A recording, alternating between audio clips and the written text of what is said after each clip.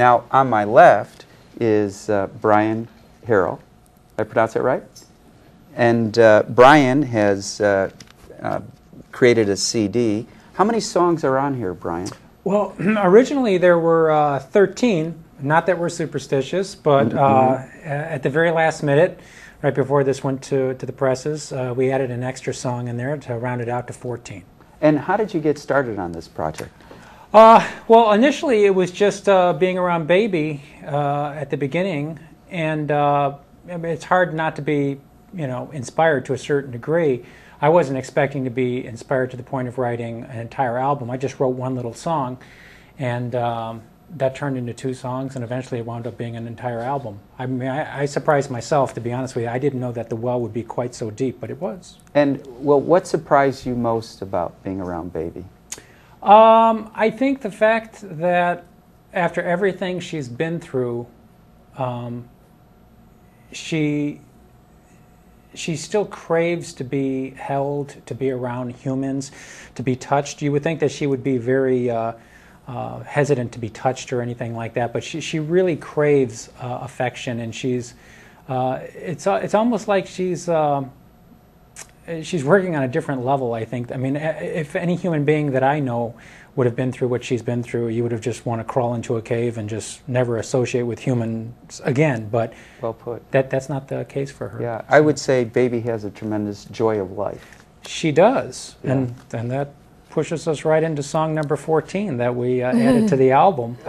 and Jay, Is that, is that the one you wanted to sing? Yeah, uh, you know, we had written uh, many different songs for the album, each one kind of telling a different chapter in Baby's life. You know, so, uh, one song might be a little sad about being, you know, imprisoned against your will, and then another song might be happy about, you know, uh, being set free, and then some other songs about, uh, uh, about, uh, you know, what people can learn from animals and what animals can bring to people and all of that. But we got through the whole thing, and, and I wanted to do one more song to round it out to 14 songs, and so we came up with this one, and it's called uh, Baby Song. And this is the last song. We just wrote this about a month ago, so I don't know the lyrics really well. So if you know, if, if you feel like you want to sing along, feel free. Oh, sure, go ahead.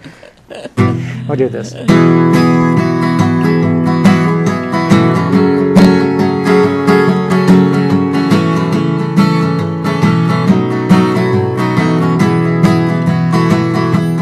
I wanna walk, I wanna run, I wanna play every day, I wanna have some fun. I wanna rock, I wanna roll in the green grass under the blue skies till I get old. I wanna make you smile, forget for a while the troubles that are bringing you down. Things may be bad, but you can't feel sad whenever I'm around. I wanna walk, I wanna run, I wanna play every day. I wanna have some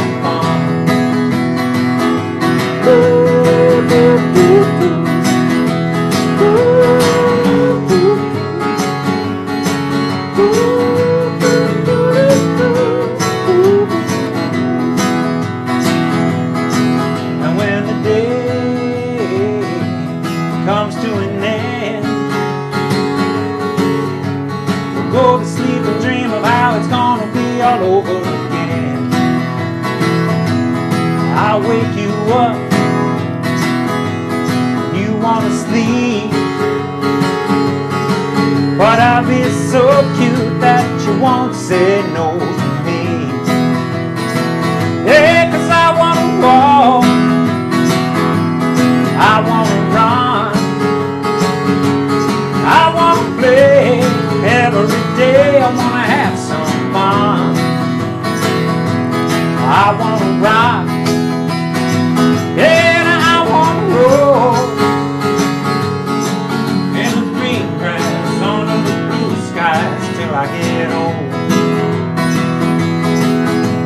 green grass under the blue skies till I get old. Baby Yeah. song. That was absolutely fantastic, Brian. And there's uh, 13 more songs just like that. 13 more songs just like that. You can go to the website and go to Amazon.com and just type in a rare breed of love. And yeah, I, I've I've done that. And uh, your your website also has like the tour bus. Um, We have the most amazing 45 foot long touring coach that we wrapped in some of the photos from the book, like Barack Obama and Judge Judy and the Chicago White Sox. And then we also have puppy mill photos. And I got to tell you, that bus stops traffic wherever we go. People are pointing and taking pictures and you know, trying to flag down our driver to ask questions. It's really been a tremendous vehicle, literally and, and, and figuratively, for getting the message across. And uh, how how much more long? How long have you toured, and how much longer are you going to tour for? We've been on the road for about a month now. We've got about another month to go. We just got some great news that we're doing a national news program. Uh, we have to go back to New York to film that. So uh, we're, we're real excited, and we've got you know a lot more more more appearances to come. There's National uh, Puppy Mill Awareness Day coming up in Pennsylvania, and Baby's going to be a special guest at that event, and that's going to have thousands of literally thousands of activists from around the country. and hopefully other uh, survivors. Yeah, we're going to have a lot of other puppy mill survivors. In fact, Baby and I were have been asked to uh, oversee the parade, to lead the parade of puppy mill survivors that day. So uh, we we're on a mission, and our mission is to shut down puppy mills, and we think we can do it.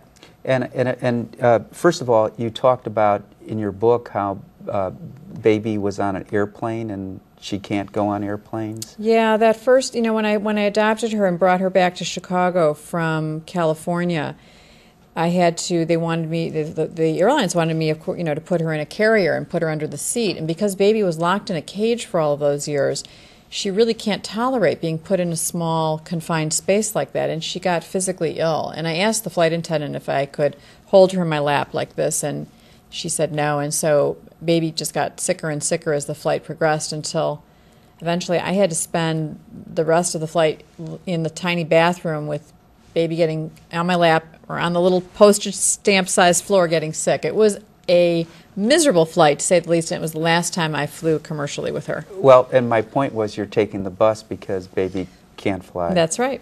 And it's really a great way to go. I love it. now,